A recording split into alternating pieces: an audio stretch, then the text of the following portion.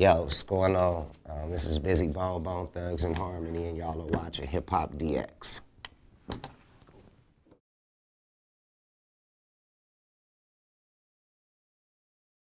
How exactly do you kind of fit into the film's narrative? Talk about your character for a moment. I think that the the innovative and the social media part is really being played with uh, the co-stars Ash and and their part, but I think I was able to like hold down a certain rhythm to the movie to where the storyline was covered. You know, of course, hip hop and, and music is trendy as well. So, you know, I think that's what I added as far as the trend and, and I think keeping this, you know, the constant stream of the movie. So I think I played that role, the place where you go, the house, the the decadence, the Bentley, that stuff. You know what I'm saying? So that that that was uh, important to me. You know what I mean? To to be able to play that role. You know, it felt good. It felt good. It felt real good. Okay, so you talk about your character you played. Yeah, yeah, yeah. It, that was my character. But as far as their the, the, the role that it played in social media, it was. I mean, I'm still kind of learning about it because I'm watching the movie and and it's I'm still picking up on new things. But from the premiere, from what I've seen, and from the, the, the comments of the people, it's like nobody really is talking about social media in that way, and it's humorous and accepted and, and new, like just the new things that they talk about. Like they say words like jellyfish for, mm-hmm. for certain stuff, and I definitely see like it being trendy and like before its time, you know what I mean? Like something new, something like, you know, Fast Times at Ridgemont High type vibe, you know what I mean? That kind of stuff. How how did it feel to be, you know, acting alongside, you know, your Bone Thugs brethren? Because they have a few cameos as well outside of your character. It's What's the difference between acting alongside them and opposed to, you know, actually making music? I mean, the acting part, we really don't need to see each other because we do the scenes at different times. But um, to be in a movie with them, I think it's like the first time that I was in like like actual movie. You know what I mean with them because we always did movies separate from each other. But um, yeah, it's it's cool. It feels good. You know what I mean? Because we're you know we're back doing what we're doing on the road now. We got our second win, so it's good. It's good. It, it just adds to the legacy, adds to the saga of Bone Thugs and Harmony. Okay, okay. So this isn't the first time, you know, you've acted. Um, you know, you're in Cutthroat Alley. Well, that was a small part. I say jacked up more than anything. And then I did another uh, movie with Sherman Hemsley um, called Color of a Dream, but that hasn't come out yet. That still didn't surface. So, that was something that I had shot. You know, Sherman, uh, Mr. Hemsley passed away. So I take those kind of things like I don't want to ever forget those accomplishments that I've made, whether it's hit the screen or not.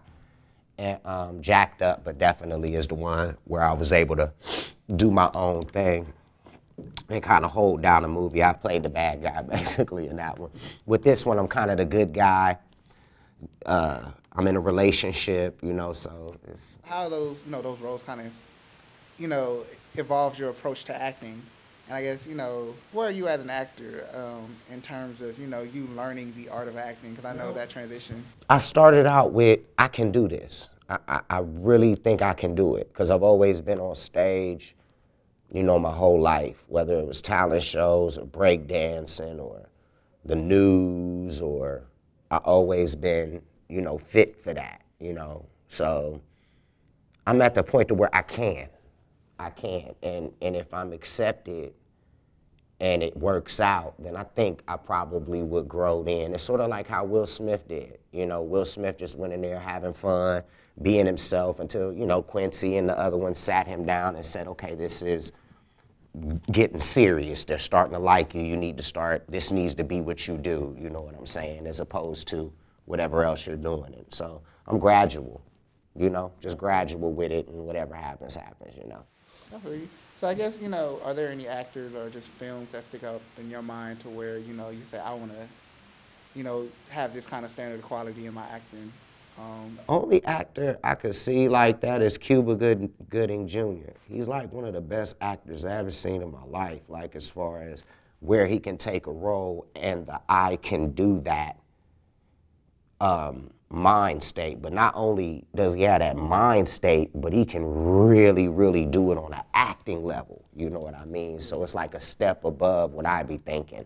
So that's somebody that I kind of look at like, yeah, okay, yeah, that brother can act as he can act. You know, that's something to strive for. He's an actor, and I, I can act. I think, you know what I mean. But it, he's an actor. So how's it like working with uh, Ice T?